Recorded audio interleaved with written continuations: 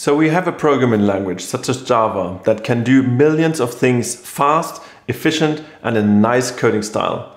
If that wasn't already enough, it only needs to be compiled once in order to run pretty much on any operating system there is. Being this perfect, what else could we even need? Well, there are frameworks that can help us further. Now, what could a framework do for a language that is already quite capable by itself? Let's first take a look and make sure we understand what a framework really is. Probably the best example is to imagine building a house. Using Java or any programming language really could be compared to laying each brick and nailing each board. But wouldn't it be easier to use a pre-built framework? A framework provides a structure, a foundation on which you can build your house. It's like a blueprint guiding you through the process and providing the essential components. In software development, a framework is a pre-written set of code that provides a structure for building applications. It offers a collection of tools, libraries and best practices that simplify the development, improve efficiency and ensure consistency. Think of it as a toolbox filled with ready-made components that you can use to assemble your application. Now, one of those frameworks that exists for Java is the Spring Framework. It's a comprehensive platform that offers a wide range of tools and features to simplify the development of enterprise applications. Think of it as a pre-built foundation on which you can construct your Java application. Making use of the Spring Framework simplifies your life as a Java developer. Instead of writing repetitive code for common tasks like database interactions or web requests, you can use the pre-built components from this framework. It promotes good coding practices and encourages you to write clean, modular and reusable code. It just makes your life a tad easier. It provides tools for testing, security and deployment so you don't have to worry about these aspects from scratch. In short, the Spring Framework is a powerful tool that can help you build better Java applications faster.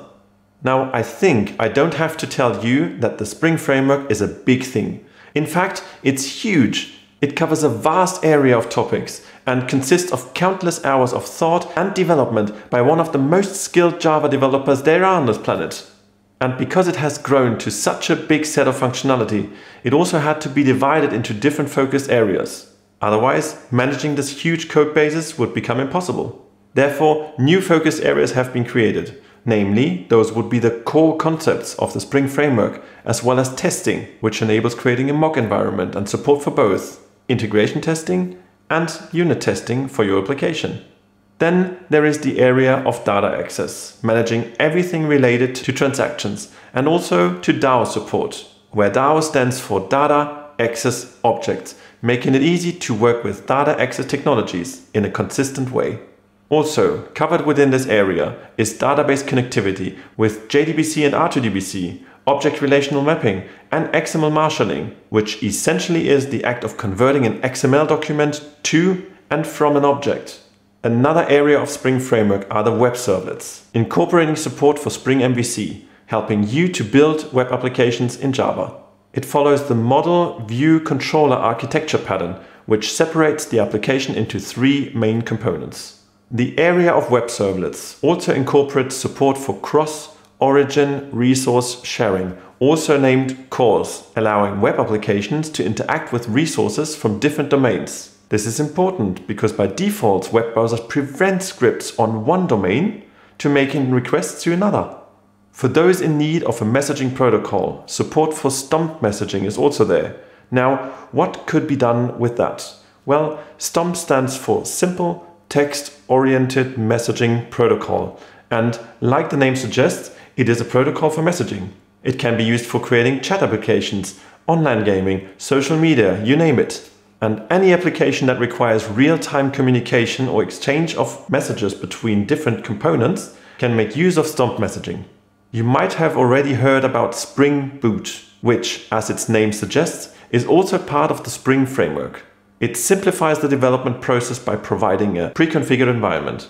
It's essentially a convention over configuration approach that helps developers get started quickly. You can think of Spring Boot as a specialized tool within the Spring Framework toolbox, designed to streamline application creation and deployment. The resulting application you create can be both a jar or a more traditional WAR file. You think we are through with all the topics? Well, let me assure you that we barely even scratched the surface. The Spring framework has much, much more to offer, but this also would blow up the scope of this video. Want to know more? Two steps. Like this video and subscribe to this channel. Thank you very much for watching. My name is Gene. See you next video.